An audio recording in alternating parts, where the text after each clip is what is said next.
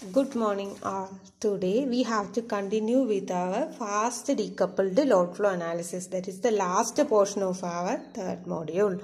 So last class we have discussed on how we modified our Newton-Raphson load flow analysis in a to a decoupled load flow method. That is started from the Newton-Raphson load flow method that is delta P is equal to J1 delta delta plus J2 into delta V. This was my equation and we knew that P is a function of what voltage and admittance but this admittance yin and theta in this is a constant always for a transmission line. So that this polar form i have written in my trigonometric form and i i have represented it as gin and bin that is first term is gin uh, conductance and second term is bin that is the susceptance. Okay. And already we know we while modeling we are using uh, we are representing the transmission line with the uh, reactance only. Okay. So gin value will be very low as no value for resistance is considered. Uh, BI, gin value will be very low.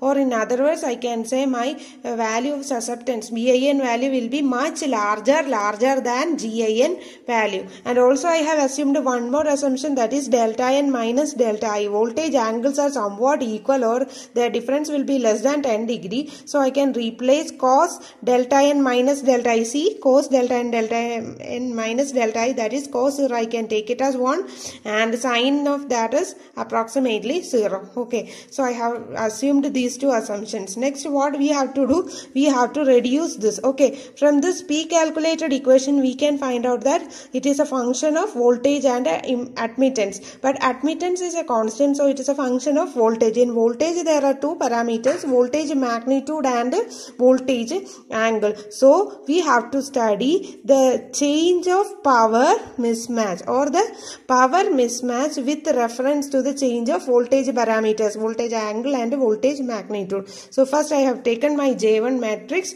In the j1 matrix i have to find out dou pi by dou delta i diagonal element. I have written the equation.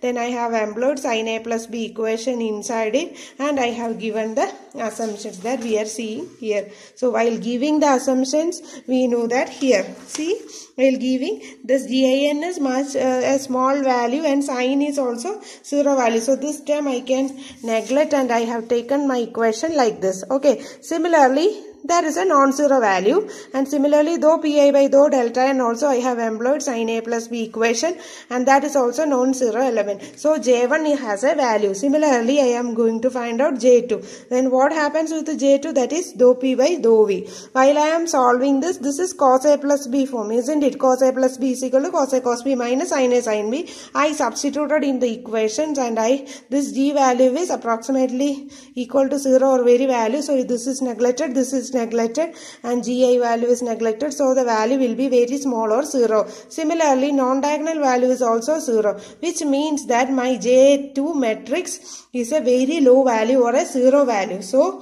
what i did was i have uh, reduced this equation. This j1 is a non-zero element but this will be a very small element or a zero element. So i modified my equation as delta p is equal to j1 delta delta. Similarly from this i can understand that my real power changes are very sensitive to change of the voltage angle than voltage magnitude or it is sensitive to change in voltage angle only. Okay next i have to study what will happen with my reactive power mismatch so i have written the equation and we also know this reactive power is also dependent on the voltage parameters that is voltage magnitude and angle.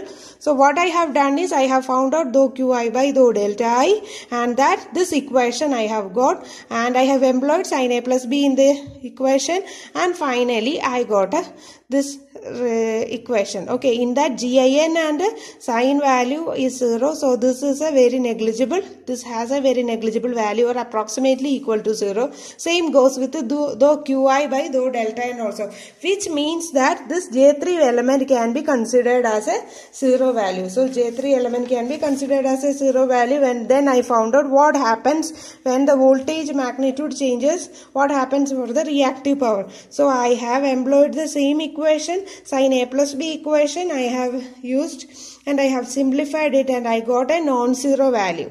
This is a non-zero value. Same goes with the dou qi by dou vn which means that j4 has a non-zero value where j3 is a zero value or low value. So I can write my delta q is equal to j4 delta delta. So this is the decoupled load flow analysis. Okay.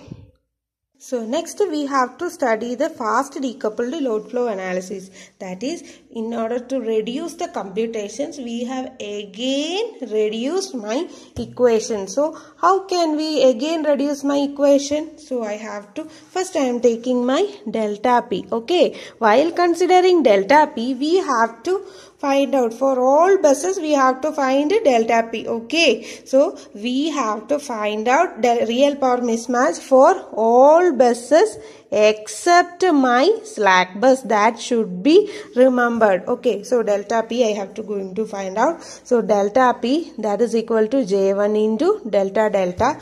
I have to get my equation in the form delta p is equal to j1 delta delta. So what is j1 i am going to analyze j1 i am trying to or i am checking whether my j1 matrix can be simplified whether my j1 matrix equation can be simplified so J1 is dou P by dou delta. You know it, no? Dou P by dou delta. That can be the change of the voltage angle within the same bus or in some other bus in the locality. Okay, so first what I am going to find out that is dou Pi by dou delta i. What was dou pi by dou delta i? Hope you remember the equations very well. Dou pi by dou delta i was equal to do you remember it? So, uh, pi equation was equal to sigma n is equal to 1 to n vi yin vn. The equation was cos theta, isn't it? So, now it becomes sine differential no? Sine theta in plus delta in minus delta i. One minus will be there differential of cos is minus n. So one minus will be here but the minus of this it will cancel. So this is our equation. And also one more thing is there. This delta i won't be there when delta n is equal to delta i. So what should i write? I should write this is not equal to i.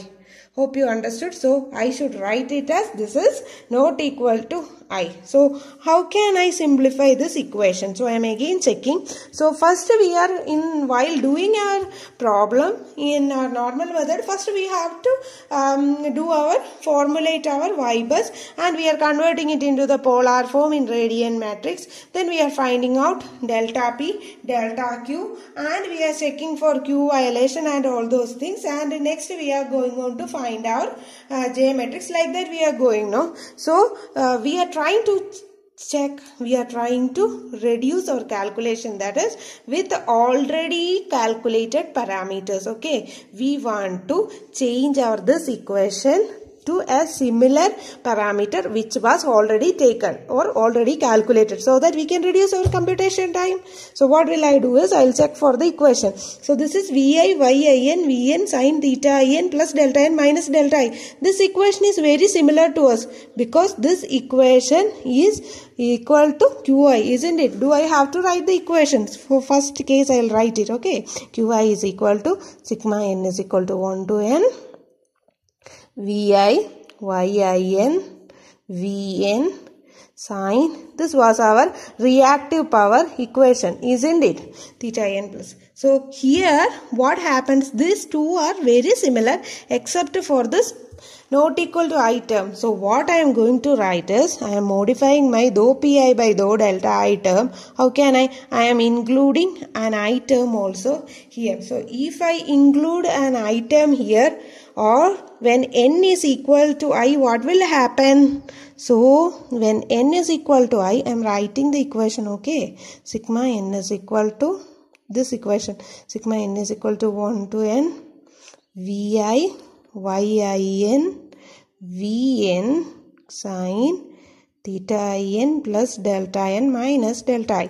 Okay so when n is equal to i I am changing this not equal to i. So when is n is equal to i what happened? It will be vi square and sine theta ii isn't it so if i am including this so i can write it as uh, not equal to i so i am including this okay plus vi square yii sine theta ii this term i am including so that i can take take this not equal to i outside. Okay or i can cancel this not equal to i. So i have to add this term. So in order to add this term i have to neglect it effect by minusing this term also isn't it that is these are simple mathematics we already know. So, so sine theta i so i can write like this no? So how can i modify this? That is equal to now i can modify my equation as sigma n is equal to 1 to n. That is vi y i n v n um, sine theta in plus delta n minus delta i minus vi square yii sine theta ii okay. So this is my present equation. So this equation you already know this is same as the this equation isn't it? So except one minus sign is there. So what i will do it? I will write a minus sign here. So minus qi minus vi square. What is yii sine theta ii you already know it no? Or i will write once more. It's okay for me. Yii angle theta ii i'm writing it as yii cos theta ii plus j sine theta ii and this is gii term plus this is bii term. So yii sine theta ii is bii term. So i can write it as bii okay. And already we know this vi no? Vi value will be somewhat 1 or its square will be again vi itself isn't it? So what i'm going to write is that is equal to some value minus qi minus vi into bii and already we know this bii is a large value when compared to qi qi value will be very small. So i what i can do? This equation i can write it as this will be approximately equal to minus vi BII. Hope you understand this. So, this equation VI is approximately equal to BII because BII is much larger than my QI value. Okay. So, what I am doing is now I have my equation that is I am rewriting my equation dou PI by dou delta I is equal to minus vi into bii but how should we need the equation? What is my necessity? I need my equation like delta p as a function of delta delta. But this delta delta is down no? So i am modifying my equation. That is i want this delta pi that is equal to what? Minus bii is a constant. I want this delta delta here no? Because it should be a function of delta delta. So i am taking this delta i here. So by this minus vi okay this minus va this is the equation i have got when i have found out dou pi by dou delta i. I hope it is clear for you. And next i am going to find out what is my dou pi by dou delta n no before we have found out the change with reference to the change of the voltage angle with reference to the same bus but now i have to find out is there any power change when the voltage angle of some other bus changes? So i am writing that equation that is delta n no so it will happen only in once. So vi y i n v n cos that was sine so minus I put it already here theta n plus delta n minus delta i. Of this equation is equal uh, correct. I know this equation is correct and you people know it already by hearted it already okay i am considering this angle okay already we have assumed that our voltage angle is delta in minus delta i will be approximately 0 so can i write my theta in plus delta n minus delta i? Should be it should be equal to theta in itself isn't it? So what i am writing is so i am changing my equation into sine theta ii okay. And also we are studying the voltage change with reference to delta n no? And this reactive sorry this active power is insensitive to the voltage magnitude okay? That we have found out in our decoupled load flow analysis the voltage magnitude changes are insensitive when uh, taken in the case of real power and is highly sensitive when taken in the power of reactive power. So what I am doing is I can ignore this Vn value because it has no effect no. So what I am taking it as? Minus Vi y i n. So in textbook what we are it is given as v n we are assuming it as 1 per unit because it has no effect. So y i n into sine theta i n. What is y i n sine theta i n? That you already know it is v i into b i n. Okay so this is the next equation I have got. So again we have to change the equation as a function of delta delta n. Okay. So what is this? Delta pi I have to take it as a function of delta delta n. So what is it? Delta pi mm, in the left hand side it is minus bin. Okay, so I am taking this Vi in the right hand side. So my equation goes like this. So this is also one equation. Okay, so what I am going to say is we have to consider these two equations. These two equations form the same pattern, isn't it?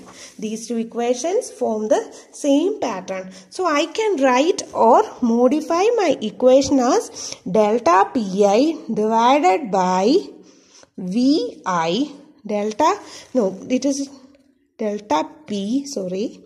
Delta p divided by vi should be equal to minus of b matrix. So that b dash i am taking it okay? That b dash delta delta. This is the first equation that is. Our first equation no as per decoupled load flow analysis delta p is equal to j1 delta delta is again reduced to delta p by vi. That vi value will be 1 per unit most time minus b dash delta delta. This b dash value no what is this b dash value? B dash value is the imaginary part of my um, y bus matrix okay and one more thing is there we are finding out that oh, except for slack bus okay so i am writing out it very clearly where my b dash matrix is the susceptance or imaginary part. Imaginary part of y bus except slack bus. So it is very easy for you to calculate this B dash matrix. First we have to find out our Y matrix. Then we have to take only the imaginary term except the first column and the first row. That is slack bus no. And we should take the uh, remaining matrices. We will get our uh, B dash matrix. Okay, except slack bus we have to find out the uh, susceptance matrix or we have to find out the imaginary part. Then we have to take the minus of it. And next uh, from this this delta p we are calculating in the first portion. That is in the uh, second step. That is uh, delta p for all the buses. Then vi value we are assuming it. Then b dash value we have. Then we can find out our delta delta value. Similarly, we have to do the same for our Q matrix also. So, we have to study how can we reduce our second equation that is, what is it? Delta Q is equal to J4 delta V. So, I am writing out it as delta Q is equal to J4 into delta V. J4 into delta V. So, how can we reduce this equation? Okay, so I am taking my J4 equation. I am taking my J4 equation. What was my J4 matrix? J4 matrix was the change of reactive power with reference to the change of voltage angle.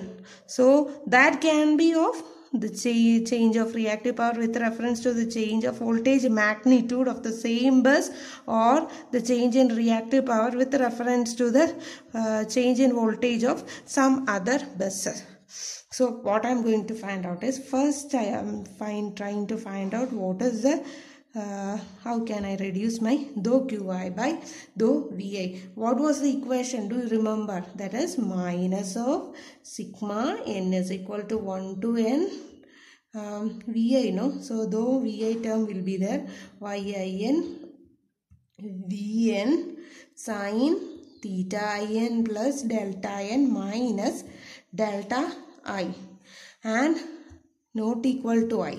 This happens when n not equal to i and when n is equal to i it will be 2 into vi into yii into sine theta ii. This is our equation. So next as we have done similar case what we have done for our J1 matrix here also we have to convert this into some other matrix that or some other parameter values which has which have we which we have already calculated. So what is it? Yin Vn sine theta in plus delta n minus delta i. What is this? This equation is very similar to our reactive power equation isn't it? Do I have to write the reactive power equation again? Check the reactive power equation. Qi is equal to minus of sigma n is equal to 1 to n vi yin vn okay in that this vi term is absent. Vi term alone is absent here. So what will i do is i am just multiplying my equation with a vi term. So multiplying the entire equation with a vi term i can write vi into dou qi by dou vi is equal to minus sigma n is equal to 1 to n n not equal to i vi yin vn sin theta in plus delta n minus delta i plus 2 into vi square yii into sine theta i i. Okay so this is the equation i have modified. Next what i have to do is i have to change this not equal to term. How can i change this not equal to term? So how can i change my um, not equal to term in this equation. That is if I am adding an equal not equal I am removing this not equal to i term means because I am adding a n is equal to i term here. When n is equal to i it will be vi yii vi. So vi square yii sine theta ii. Okay that is already here no? So I am taking 1 vi square yii sine theta i to this term. So I can sorry here here I taken so this term I can write it very easily as minus so I am taking this minus outside no inside okay? Sigma n is equal to 1 to n sigma n is equal to 1 to n vi y i n v n sine theta in plus delta in minus delta i. I have taken one term inside so remaining one vi square is there vi square yii term is there sine theta ii. So what is it? I am taking the minus to inside okay for reason. So check the equation now it is same as our reactive power equation. So I am replacing it as that is q minus vi square into yii sine theta ii you already know it is bii okay. And we know that this uh, q term qi qi term is much lesser than this bi term. So i can replace it as my equation as that is equal to minus vi square bii okay. So this is a calculation. Again we have to reduce so that i'm taking a paper wait a okay. So how will i do it? So i'm rewriting my equation. That is vi dou qi by dou vi is equal to minus vi square bii. So I am taking one vi from here to reduce our calculation. Now it is uh, dou qi by dou vi is equal to minus vi bii. And what is the equation format we need? We need the equation in the form delta q is as a function of delta v. So I am modifying it so integrating that is delta qi and I want it as a function of delta vi. Okay. So this is the remaining term is minus BII and this VI I am calculating, I am bringing it to down. So that is equal to delta QI by VI is equal to minus BII delta EI. Okay, so this is one equation I have got when I have found out dou QI by dou VI. Similarly, I have to find how sensitive is my reactive power change with reference to the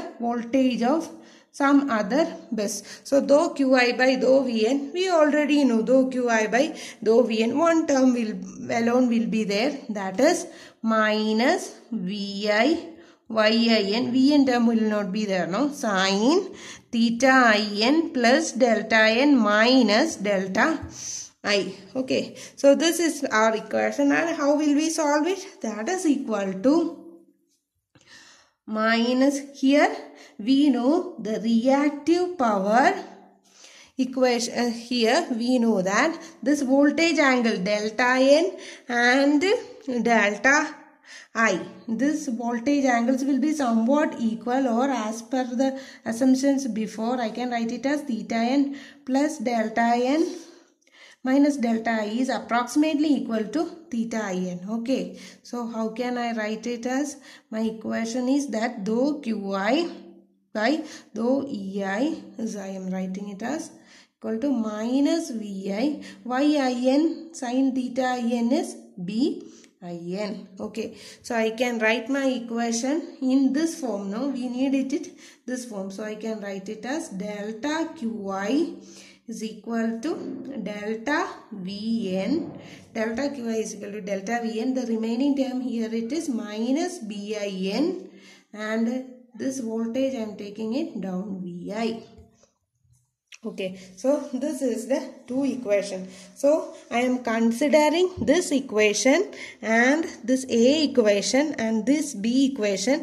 and i am modifying it to a regular uh, or general equation that is delta q. That delta q matrix will be equal to q delta q1 delta q3 q2 q3 like that no? If there are 1 2 3 are if 1, 2, 3 are load buses only, we have to remember, we have to calculate delta Q only when the bus is a PQ bus. Okay, only for PQ buses we have to calculate delta P and delta Q. For PV buses we have to calculate delta P. Okay, so delta Q is equal to, okay, delta Q by Vi is equal to minus B dash I have already used so I am using a B double dash matrix into delta Vn okay where this B double dash matrix is what is it? Is the imaginary part or susceptance matrix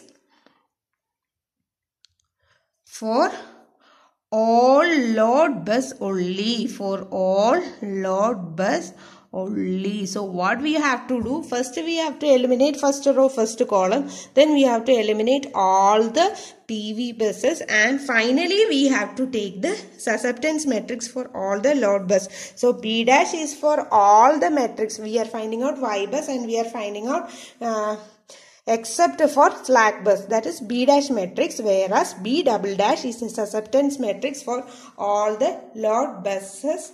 All all all the load buses only. So now I can find out from this. I can find out my delta delta. Okay here also this delta q value we are calculating. First we are assuming this value. We are calculating this from y bus.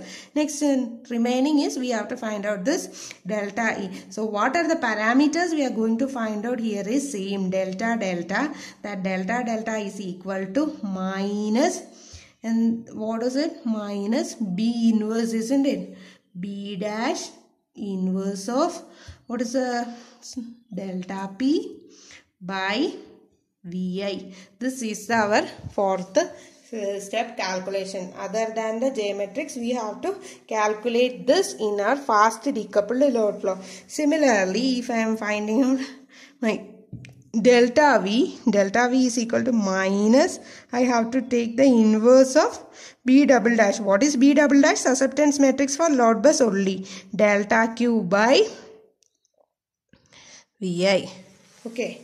So this is the equation we are going to substitute. This is the equation. Here I haven't used any term no. So this v term alone is sufficient okay? So this is the equation we are going to find out for solving this our fast decoupled load flow analysis. So i am summarizing the steps once more. That is in order to find out algorithm in order to solve for fast decoupled uh, in order to solve for fast decoupled load flow analysis, first step I have to find out my Y bus and it, uh, first step we have to find the y bus in rectangular coordinate. Next we have to convert it into the polar form and the calculator should be in the radian mode. Okay. And in the second step we have to find out uh, we have to calculate delta p and delta q. Delta p for all the buses except slack bus delta q for uh, load bus only. In other words, we have to find out delta P and delta Q for P, PQ bus and delta P only for PV buses. Okay. So, second step we are calculating this value. And next what we have to do, we have to set the iteration and we have to check whether um, Q limits are given. All those things we have to check in our um, second step okay and in uh, sorry in the third step okay and we have to finalize about the PV bus status and in the third step we have to also find out B matrix B dash that is except all the PV buses and PQ buses we have to consider. And we also should consider B double dash matrix that is the susceptance matrix for PQ buses alone. That is our third step. Okay. And in the next step in the fourth step what will I do? We have to calculate the value of delta delta and delta E. And the remaining value, uh, the remaining calculations will go on. Like uh, this delta initial value plus delta delta value we will take it out for our next iteration and like that it will continue. Okay thank you. This is the theory part of our fast decoupled load flow analysis. Next we will do the mathematical problems regarding the same. Thank you